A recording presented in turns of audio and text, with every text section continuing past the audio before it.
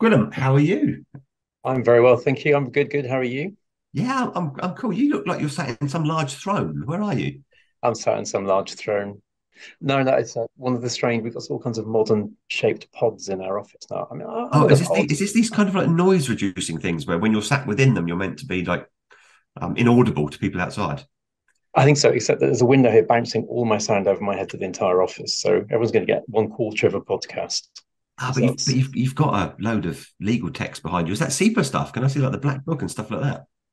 It's RPCs, but we have got the CIPA transactions somewhere as well. It's all the stuff we kept when we moved. Our, our kind of office designers said it'd be quite cool to have a little section with all the old books in, and they were right. It is. We've also got It's amazing what you find when you move offices, isn't it? We- we've also got um, for patent uh, case law aficionados. I can see from here the original no fume ashtray, which is a very famous 1930s case. I'll Oh, show you. oh, up. Ruth, Ruth's, given, Ruth's given away the game that we've got guests by um. It's the original no fume ashtray from the case law, which basically set the scene for functional claiming, as still found in the European patent pipelines. So there we go. how, how amazing is that? There are no cigarette ends in it. Sometimes guests come and say, "Is this a smoking section?" no, it's just an exhibit.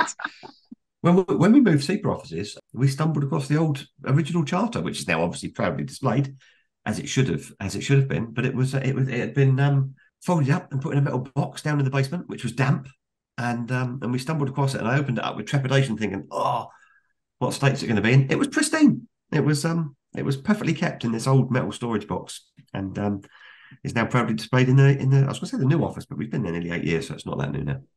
I haven't. Is it still fit for purpose? Out of interest, does it still reflect what we do?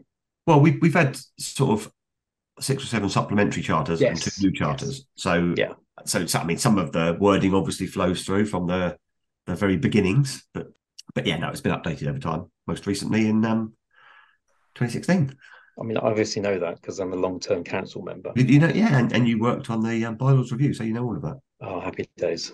Yeah. Should we crack on, mate? Should we get? Should we get Yes. how we get the guests on? Yes. Lee Davis and Gwilym Roberts are the two IPs in a pod, and you are listening to a podcast on intellectual property brought to you by the Chartered Institute of Patent Attorneys. So we're, we're going to have a fascinating insight into the world of, um, as I understand it, teaching IP in non-IP contexts. So te- te- teaching IP to people who for whom IP will be extraordinarily important, but they don't know it yet, which must be must be a difficult task in and of itself. We have Ruth and Sabine on with us. I'm going to ask them to introduce themselves. So Ruth, do you want to um do you want to go first?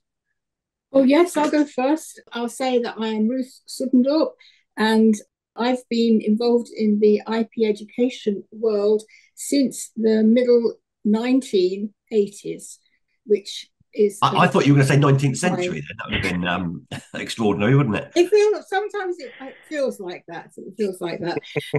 I've been privileged to witness the growth of interest in IP education, both from the students, or mainly from the students, and from the recipients, and a little a bit less so from the people who are supposed to be teaching it.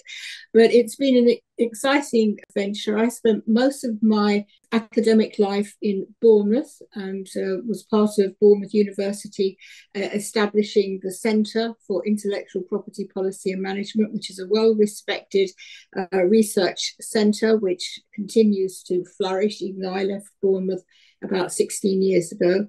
And in my semi retirement from Bournemouth, I joined City University as a visiting lecturer and have enjoyed uh, working with undergraduates and postgraduates, not in the law school, in the business uh, school, and bringing intellectual property concepts to them. And it was only in the last uh, two or three years, in the, with, in the memory of COVID, that Sabine sought me out, and together we have uh, bonded over the book that we're going to be talking about today, which is Teaching Intellectual Property Law, Strategy and Management. That's me. That's you. Ah, thank you so much for coming on. A return, should I say, Ruth? You've been on before, so um, so you're, you're a friend of the show. Oh, thank you. Thank So, you. Sabine, t- tell us all about you and why you went in search of Ruth. So, uh, thank you for having us. So, I'm Sabine Jacques. I've recently joined uh, the University of Liverpool as a senior um, lecturer in intellectual property law. Uh, this is actually my first month on the job, so I also have uh, moved office recently and still very there right now. But uh, yes, I've joined, but I was previously at the University of East Anglia in Norwich, uh, where I've been there for seven years. And this is uh, where the research has uh, taken shape for, for this project. Um, so I've had less experience than Ruth in IP education, but what I have witnessed is that our classrooms are very different and they keep on changing and the expectations from students are changing as well. And so we wanted to kind of look at these changing expectations, not only from the students, but also from the IP educator, as well as uh, future employers, and bring a lot of collaborators together uh, to share best practices in terms of teaching IP in and outside the law school. Um, I must say, uh, I'm remaining a visiting scholar at the University of East Anglia, and I'm also a visiting lecturer at the University of Maastricht, where there um, I have the privilege of teaching on an IP program where the, the classroom is a mix between lawyers and people coming from different scientific backgrounds. So everything has to be taught from this double perspective as well. Oh, thanks for that, Sabine. And we probably ought to get all of our um, academic credentials on the table early doors. So, Gwilym, you're, you're, you're not unknown to the world of IP law teaching, are you? Thank you. No, I am either a visiting or an honorary professor. I can never remember which at Queen Mary. I'm sure you guys know the team there really, really well. And so, yeah, I'm actually I'm really interested in teaching IP. However, I've only mostly taught it personally to people who a are in IP or want to get into IP, and b are interested.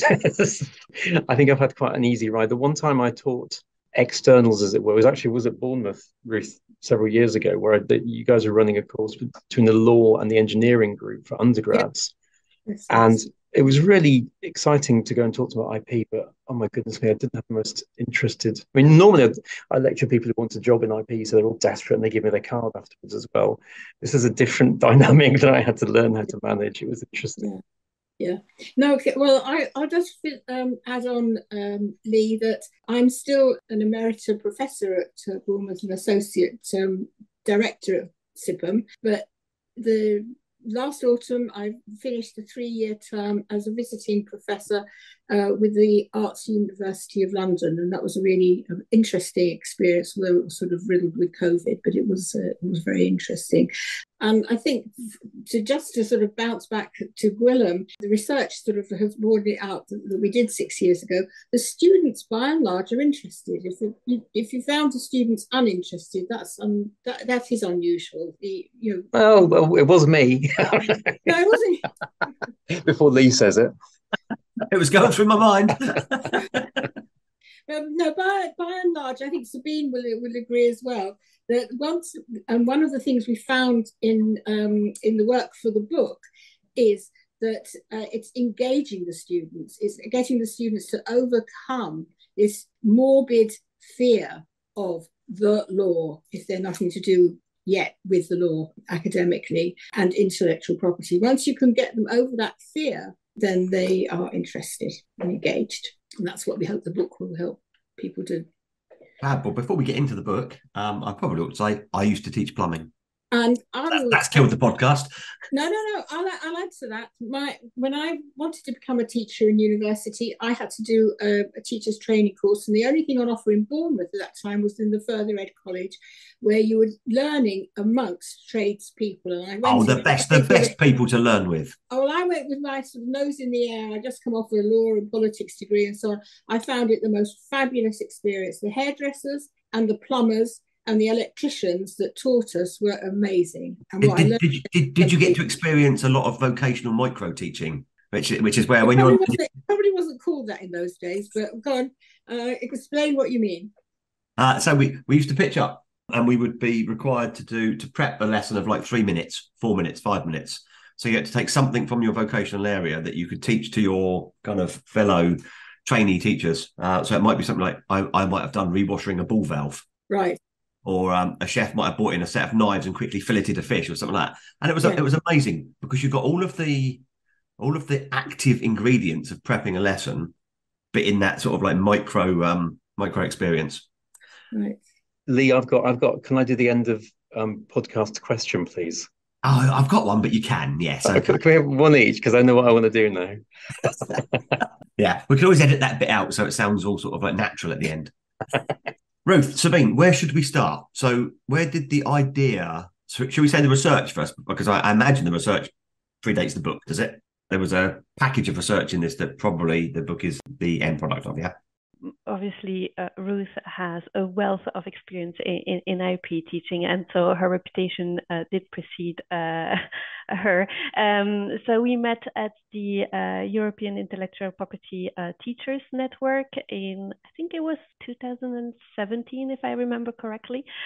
And there I was very much the newbie. Um, I was trying to, uh, well, I did present, I was not trying, um, but I presented a, a, board game that I had devised uh, for, for my students to help them revise uh, IP concepts uh, at their own pace, but also with immediate feedback and also trying to get some kind of collaborative element so that we would also grow a community within the classroom uh, at the same time as they were able to kind of follow their own learning journey on an individual uh, level. So it's very much, you know, a simple board game with a lot of the rules that they would have uh, learned from um, other games uh, when when when they were children, perhaps, uh, or or still uh, as teenagers or adults for those who like. so, so does that look like any other game we might know? Is there anything we can kind of there is there is a board to the game with like there's, there's it's Monopoly, isn't it? It's Monopoly. No, it's, it's not. It's that's a that is a good name for an IP based board game, by the way. Very much so. Uh, no, Mono- there is Mono- there is- Monopoly B. No, I can't do it. Go on. Go on, sorry, carry on. Yeah, okay. So there are elements that you could say you can find in the Monopoly game for sure. Um, but there are also uh, uh, tips uh, and, and tricks which wouldn't uh, be in there. So basically, just to, to, to cut the, the, the story short and for everyone to have an idea as to what the game uh, actually is about, students enter a classroom and they're, as soon as they enter, they're put into a situation where they are at a at a, an IP exhibition and they have to present their own project as well as trying to find new collaborators for future projects. So they sit around a table and they have this progress board in front of them. They do have to draw cards at their, well, in turn and answer a question, but there are also like surprise uh, uh, cards. So um, for example, they can just receive money to put into the bank for a future project, or they might have a threat, and this is some kind of industrial uh, espionage uh, that's happening within the game. So there are some some some additional features like this, but the basics of the mechanics of the game is indeed there is a board, you progress as a single player. Um, however, because I wanted this collaborative element as well, and the idea also is to make sure that no one just wants, well, um, kind of wanders off and, and, and doesn't get what they want from from from from the from, from the game to keep people motivated basically um, if if someone cannot answer one of these questions then they have to answer um, um, in a team so they have to work together to kind of find the answer and to keep everyone motivated to kind of progress all together. So um, this was the idea that I was presenting at this conference, and then I had lovely feedback from Ruth, as, uh, and and her support had been amazing. Um, somehow I'm not entirely sure. Uh, Edward Elgar, um, so the, the publishers for the, for this book, heard about uh, about this project, and they have this lovely uh, series called Edgar, Elgar's Guides to Teaching, and it's all series of, of, books looking at ways in which we can improve our teaching of a particular subject. So this is not about the content; it's about the how we deliver um, a particular um, piece of knowledge at the time um, when when Edward Elgar uh, approached me, I thought, well, I can't do this on my own because I'm not a representation of you know the best IP uh, teaching practices that are out there. That's completely uh, not correct. And so I thought, well, it would be great to bring uh, Ruth on board to help me edit um, this book and to just gather um, what best practices we find, what we found innovative in terms of IP teaching that could help educators, whether they are based in a law school or outside a law school, to um, teach perhaps differently um, and um, and yeah instead of reinventing the the wheel it's about sharing okay shall i add to that? Yeah please do, please do ruth. Yes okay. Well i think uh, sabine's given a very accurate picture of how edward elgar was intrigued uh, with the idea of uh, IP teaching and thought of the book and approached her. And I'm very, you know, flattered by the comments she makes about my wealth of uh, IP teaching uh, experience.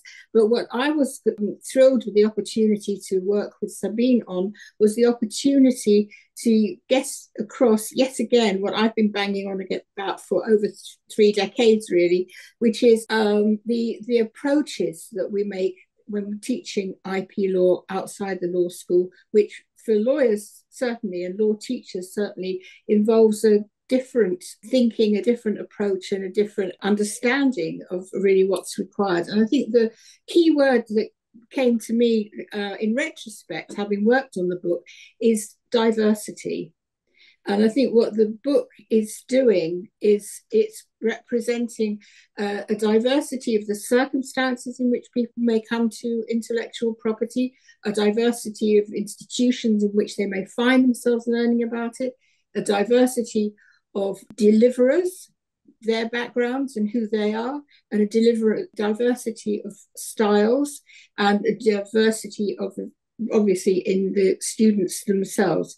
And from taking account of that. And i think if you look through if we have a if you're interested that we look through the way the chapters of the books are organized and the authors that we involved in uh, contributing to the book that diversity is reflected.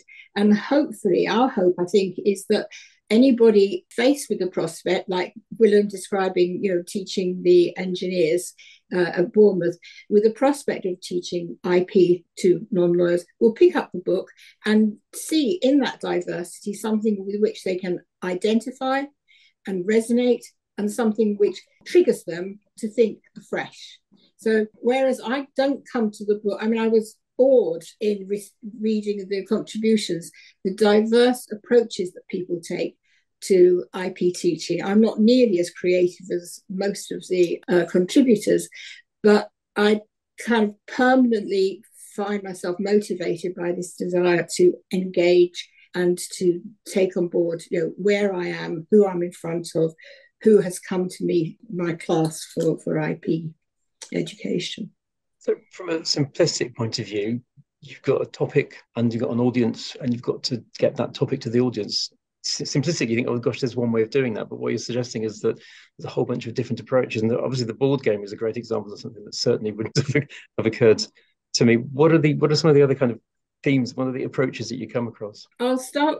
I'll start with my with with my most recent thing of, of the last few years is what I've called IP icebreakers, which is going into the class either in a seminar or a tutorial with a snippet from um, a media source that the students would have been familiar with, but it's not necessarily anything to do with law, but it's to do with media or the things that things that they are interested in.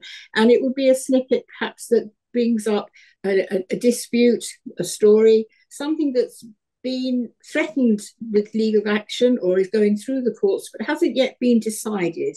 And giving the, that to the students to read and to comment on and telling them, look, whatever you say can't be wrong because we haven't got a decision on this yet. Just think about it. What's your gut reaction? And getting the students to speak. Once they've spoken once, I don't know if you realize this yourself, but once a student speaks once in class, they'll speak again.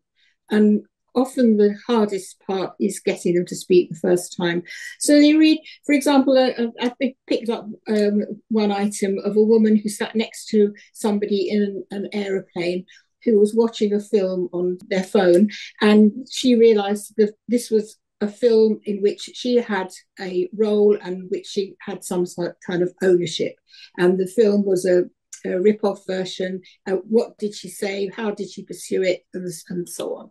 And that just gets them gets them talking, gets them thinking, and from there you can bring their experience of having spoken into the more formal bits of teaching that you need to do with them. But other people are in the book, and you can read about them in the book, are using musical instruments in class to teach copyright, are using art to teach intellectual property law. They're coming into the classroom with different things which which the students might not expect in a law class. If I can add something to this, and more, more, more um, broadly, there, the, the, the range of, of, of teaching uh, tools is really uh, impressive in, in, the book. So we have um, the use of social media mm-hmm. um, for um, for IP uh, teaching. So you know if if students can boil down a complex um, uh, concept into a limited number of characters, um, that already shows how well they've understood this concept as well as a great way of being able to communicating then uh, later on also with an audience that's not familiar with, with these IP uh, concepts and to break them down uh, into digestible um, um uh, sentences.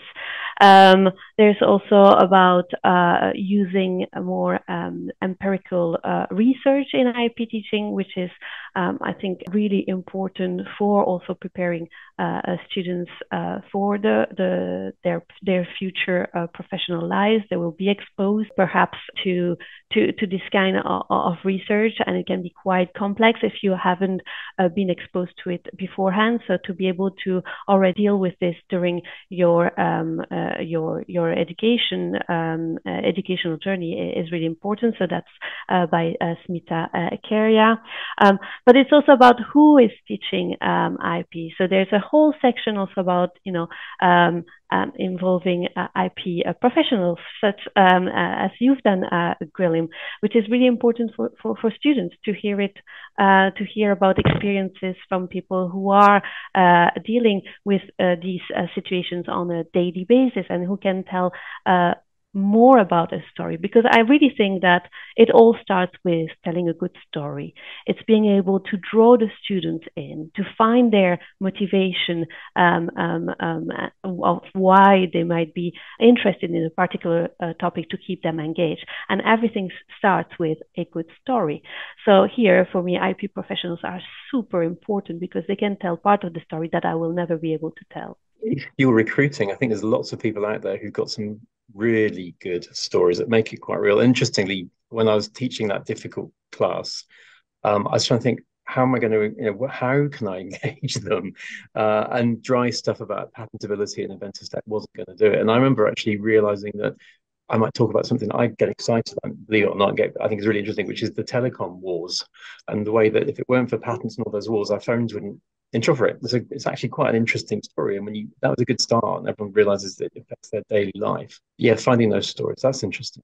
If only there were an easy to digest, friendly, informative podcast that we could point people to. That's that. That's talking of good ways of teaching, Lee. That's a good idea, isn't it? We could do. Can we do one on plumbing as well? I feel like we've not done enough on that side. Well, there is a chapter uh, in the book by Brian Frye who teaches with podcasts, uh, but I just wanted to say I think one of the um, the hardest things as a, a, law teacher, shifting from teaching law in the law school to teaching non lawyers, is that you have to rid yourself of your own kind of um, rigor that you have applied to your own sort of learning about law and your application of law and so on, and put yourself in the mindset of where are these people coming from and where are they going to when they leave you. And I, what Sabine was talking, I just sort of thought of the the Fortnite case. The Fortnite dance rapper whose dance moves were copied and was very incensed by this and sued and so on. Now, the intricacies of arguing that case in a court are one thing. But if you show that to a student and who has no experience whatsoever and ask them what's their gut reaction, what do they feel, and then get them started, then they, you've got something to build on. You know, this will be decided with the, the, the rules of copyright, and you've got something to a backcloth to sort of place your copyright law against. Whereas if you started off by saying copyright and you've got no copyright in this because of that, you've lost them. So that's the the medium, as it were, and some fascinating channels there. And I think yeah, I'm now getting quite excited about having a look at this book and come up with some ideas because one does tend to, you know, I come from a Blackboard era teaching, so yeah. using social media is not is not was not didn't mean we made no sense. That's what you tried to teach me. Uh, can I just interject? Was your yes. Blackboard like my first Blackboard, not not a fixed Blackboard on a wall, but a rolly one? Oh, that sounds quite modern. Yeah, because because the best thing about those, although obviously it's the worst way to teach, but it's the way I experienced it as a student, was um, a couple of our lecturers would get into the classroom maybe about 10 minutes before the class would start and would have three quarters filled the rolly blackboard and then would just keep rolling it and writing and rolling it and writing and you would just you would just keep writing the bit that kept coming up and they and because they'd started 10 minutes earlier there was there was always plenty there it was um yeah so you just took me you took me back to the early 80s Gwilym I do I remember lecturing at CIPA in probably the 90s using an overhead projector and transparencies that was oh I loved OHPs I, mm-hmm. I agree, but I was, actually just quick proud. I was the first person ever to use PowerPoint at CIPA, and I know that because I had to bring a projector and they didn't know what it was. Uh, was, uh... I, I, was I was the first person teaching, certainly in the construction area at Highbury College in Portsmouth, where I taught, to make their um, transparencies using Letraset. Oh, that's fancy. That's that's that's posh. That is. But so we, we've drifted. You were going to ask a question. well, no, it was relevant. It's the, the medium, but the, the, just just on the message. I think you. It's more about teaching techniques, as I understand it. But I mean, presumably, there's some thought. You've got to put some thought into what you're going to tell these different audiences. Does that is that varying? Is there any any messaging on kind of the sort of information that people are most interested in, or is it mostly about the teaching techniques themselves? Well, if, if Sabine isn't jumping in, I don't. I would like that question clarified. What do you mean by messaging? Well, uh, what what do you, what what do we teach these people? What do we teach people in certain external industries about IP? For example, there's two kind of for me. There's a couple of key areas. One is um, watch out for other people's IP. Don't just go around ripping stuff off. Another yeah. one is understand if you've created something, then you can get huge value from it by using. I tell you chapter and verse where it comes up, up, but it certainly does. And I think one of the that's one of the areas I was um, uh, made very aware of in the three years being at uh, UAL, University of the Arts. Uh, and there the emphasis is ever so much on collaboration, very little on IP. And they have a tiny team struggling to get IP across some of the most creative people in the uh, in the country. And the message, I don't know, Sabine may have, well, you know, may correct me or not make add to what I'm saying, but um, my message always when I go into a new class is to think those people are going to leave me in a year or two years' time and they'll be out in the world. What do they really need? They need, first of all, to keep Sturm. I think confidentiality, you know, is a message, and they need to know that they are what they do has worth, and that contributes to their self-esteem. What they do may well involve something somebody else has done, and they need to be aware of that.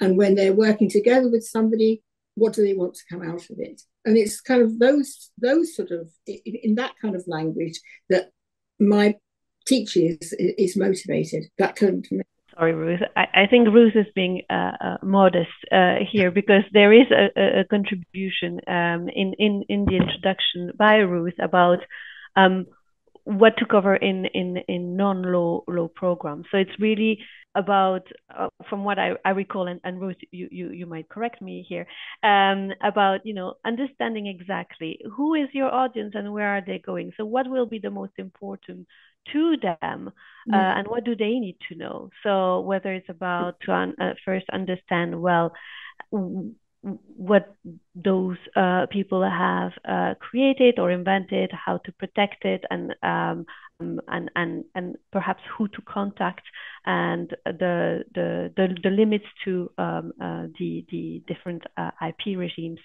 um, um, uh, would be most important. But obviously, that would be different from uh, the situation in a law school, where there it's very much more about um, um, going into the, the details of the different IP uh, regimes um, and the different questions that are currently being raised. So um, here we're not trying to reproduce what the, the content of, of a textbook you're right in saying that it's much more about teaching techniques. Uh, it's much more about understanding uh, who you might find today in a classroom because the classrooms have also very much uh, changed since uh, the 80s. So now the profile of the learners is much more diverse. They have a, a breadth of past experience that they're coming with in the classroom. And it's also while understanding this and maximizing on uh, those profiles that you have in the classroom to ensure that then you have a greater uh, value in, in the IP teaching, in the well, in the learning journey throughout the year as well with, with, with the classroom that you have in front of you. So it's very much a, a two-way um, street here, where it's not about the lecturer or the IP educator simply delivering content, but it's really trying to um, uh, learn also from from your classroom what they are interested in, what their past experiences are, and build on the different kind of motivations you can then identify. Yeah, and and, and I think well, another um, aspect is uh, in my teaching, I've made a transition over the years from feeling that I'm the person responsible for providing the answers to I am the person responsible for helping them to ask questions. And I think when if this if I can leave the students in feeling that they are they know where to ask the questions or how to start to ask questions, then I've done the job. And you know, a module that I teach, I don't know about um, the law school modules are, are, longer, but the longest I've been teaching over recent years is uh, 11 weeks of um, 11 two hour sessions. And you can't expect someone to know all about intellectual property in that period of time. You can only expect them to understand sort of um, the very basic concepts that they can build extra knowledge on, but you can work with them to think in terms of asking questions, um, and that can be reflected in the uh, assessment that uh, that you set. And we've got chapters in the book which discuss assessments. So that you know, that that too is sort of part of the message. Thank you. And I think the kind of the focus on the audience is um, makes a lot of sense. You know, you've got to get the right message to the right people. Out of interest, talking of audiences, so who is the audience for the book? Who who, who is this book aimed at? Who should be reading it? Well, whoever should who should be reading it is anybody who is going to stand um, in front of people wanting to know about intellectual property. I know that WIPO are uh, recommending it for all their MA, you know, the people who do their masters in, in, in IP education, and we would hope that people who run libraries, which are, are used by IP teachers, will stock it, and that people who are teach going to teach uh, intellectual property and increasingly in the law school the law school teachers who might never before have bothered with teaching outside law school are being drawn into um, programs that are in other faculties. And that increases the income for the, the law school, increases the work of the law school teacher. And so hopefully they will find something of value in it. You may even, you I don't know who, who else would want to read it. Uh, yeah, I think you're right. It's a- anyone who's interested in IP uh, education, you know, may be in, in the law school indeed for those who are, are um, about to teach outside the law school, but also those who simply want to uh, reflect on their teaching practices and want to uh, maybe try uh, new things in their teaching. Um, and instead of, uh, of, of starting everything from scratch, well, there are some really neat ideas and a how to um, uh, how to integrate uh, these ideas within their teaching. Yeah. And then obviously people outside the law school who might have to teach uh, IP and never done it before. Then where do you start? Well, mm. um, this book is uh, telling them how to, hopefully. Right, and I think certainly if um, if CIPA were to make you know publicise it amongst its uh, membership and um, CITMA as well, and uh, along with the message that there are universities begging, I'm sure, for input from practitioners in the locality who can add some richness and colour to intellectual property. And lastly, but another um, uh, area, uh, there is a growing, a small but growing number of people in faculties other than law realizing perhaps hearing it from their students that they should be including something on intellectual property but they don't know where to begin nobody ever taught them would pick up a book like this and perhaps have the courage to stand up in front of their own students uh, for a few hours and tell them about intellectual property. I'm conscious of time, but I've got a couple of questions. Sort of prompted by Gwilym's focus on audience. So Gwilym's talked about multiple audiences, students as audience in terms of the recipients of the learning that comes out of the book, academics as audience in terms of those people who would read the book to inform their own teaching. Can I talk a little bit about the contributors? You've got quite a cast of contributors. Um, essayists, I think, would be the, the proper term for them, um, including some of the great and good notable characters in IP. I'm not going to say who I think are the great and good, by the way, in case I offend anybody that I don't mention. But uh, but there are some prominent names there. How did you assemble your cast? Well, it was a, a mix of different mediums that we used uh, uh, for, for, for this purpose. Firstly, we used a series of mailing lists, whether it was through the EIPTN, EIPTN network that I've mentioned uh, earlier. Uh, we've also advertised it on the uh, IPKat uh, blog. Um, and we um, also, well, we, through the years, we had met uh, some of these uh, contributors and have heard about uh, their innovative uh, teaching techniques that we thought we were interesting. So we've um, also given uh, the opportunity to uh, send in an abstract, and then once we had received all the um, the interest for for this project, we then went through them and so and and tried to identify what would work best as a, collection. From my perspective, two two contributors who are not academics but um, make a fantastic contribution. We persuaded to write uh, chapters for the book, which were Mandy Haberman, who has her long-standing uh, history of innovation and struggles with the IP um, system, and Agatha Michelle de Catzot, who is a current who's currently an IP lawyer, patent um, lawyer in London, and has been working alongside me uh, as my tutorial assistant, which I'm hugely grateful. And she gives a, a, a wonderful perspective on uh, the contribution she feels that she makes uh, to the development of the students that we teach. Um, and last but not least, we did persuade the patent office that uh, they should be there as well because they make a, a great contribution through their resources to uh, IP teachers. And um, they agreed and they have a chapter. That's where the writers came from. So, so maybe a final question for me, terribly unfair question, but I'm going to ask it anyway because it's my job to do this. If I give you three nuggets each, a nugget being an absolute gem that you sort of picked up in your um in your work on this, what would what would be your individual three nuggets? What would you say? Wow, wasn't expecting to find that, or so glad I saw this. Uh, three three nuggets. You don't have to have three. If there's only one or two, then just go for one or two.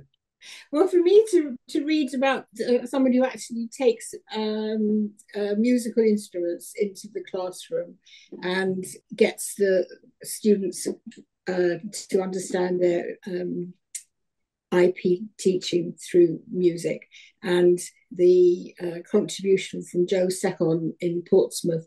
Portsmouth, who, yeah, no Joe, yeah. Yes, who works with social media. Um, I find that's uh, you know, I found that uh, unexpected. To, to uh, although I'd heard about it, actually actually to read it, I found it uh, fascinating.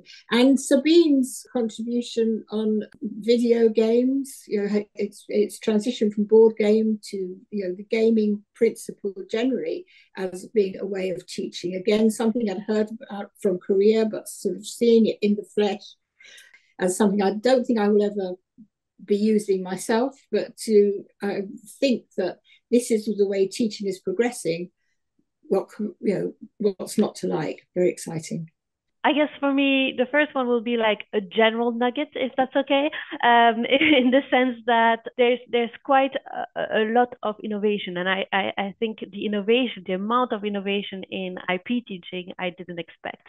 So the, for me, that was uh, really uh, excellent to see because it made me uh, think about where I would want to see my own uh, practice go uh, later on. So um, also by uh, merging some of the contributions together, so there's uh, Caroline uh, Coles talking about uh, virtual reality, and uh, Hayley Bosher talking about law clinics, and you know being able to merge these two together would also widen participation, and would be a, a, an excellent uh, um, thing in the future, um, in my personal opinion. So that would be my my first nugget is is the amount of innovation that there is in there. The second one uh, would be about uh, using more empirical methods, which I really think is uh, is really important in in uh, in IP education for for for you know uh, their their professional uh, routes uh, later on. And this is kind of uh, also, you know, doubling the challenge. You've got to be able to teach IP, which is already uh, a complex, but also have to teach about methods and, you know, having to deal with with data. Um, and and Smita Kheria really gives a great uh, how-to uh, in in her contribution. My final nugget would be for Andrea Wallace um, and her way of using arts uh, in in the law school in in IP education because here it's really about um, reversing the roles and that gives really a rounded uh, approach uh, to to IP to for for for the students by putting them in the shoes of creators uh, and and then having to extract the IP uh, challenges um, that that derive yeah. from there. I see that. Yeah and can I get crave the uh, um, editable indulgence of an uh, a fourth? What for a fourth? Of a fourth. For a fourth, because it takes me a little while to catch up every so often. And the fourth really would be that the book talks about ethics, IP and ethics, and IP and sustainability, and IP uh, in the context not just of your career and not just of what you're going to do with it, but but how you're going to work with it. And um, Janice Denoncourt uh, is not the only person who who writes about uh, the ethical dimension to to intellectual property. I think that's something since the pandemic, since the murder of George Floyd, uh, we've all had to look at in a, in a different way. And I think the, the book is one of the first sort of generalists. There are specific books about uh, IP and ethics, but it's the first sort of generalist IP text that raises the challenge of teaching uh, IP ethical, the ethical dimensions to IP. I think, yeah, thanks for that. That's a great show, actually. Um, well, thank you both so much for coming on. It's been absolutely lovely having you with us. See, I in the in the preamble, I did talk about time. We've gone over time, but that's clearly because there was plenty to talk about. Um, and Gwilym, I can't think of a closing question. if only if only there was someone who had a closing question.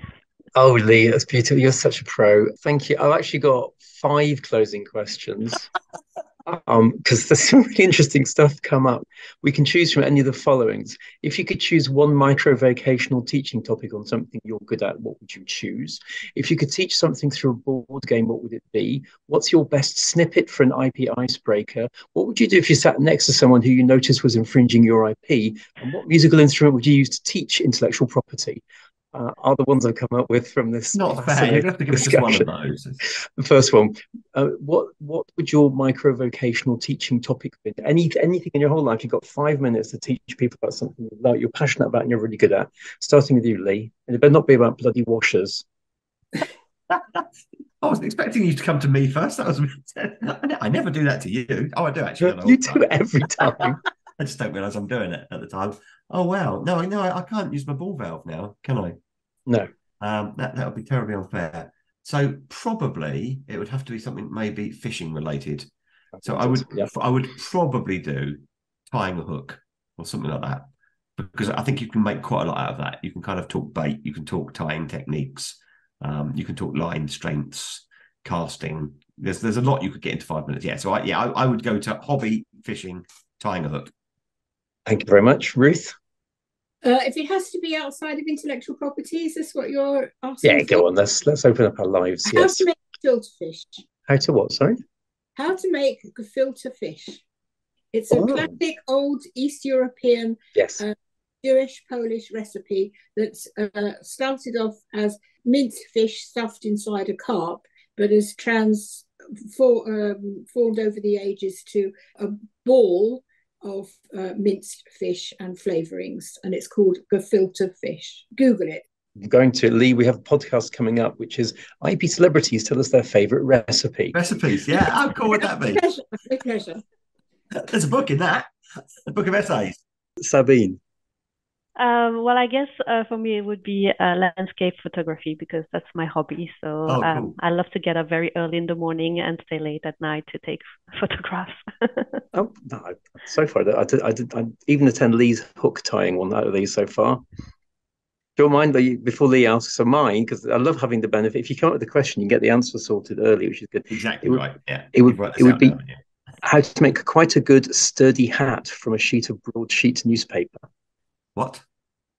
What, like like the folding up things that we used to make as children, the the Yeah. and stuff like that. No, but my- They're way- bicorns, weren't they? Way, way better than that. Proper, proper decorator's hat. You- You're going to have to do it. You now need to bring newspaper to the next podcast, and I want to see this. I'm very proud of it. It's genuinely quite a sturdy piece of kit as well. There we go.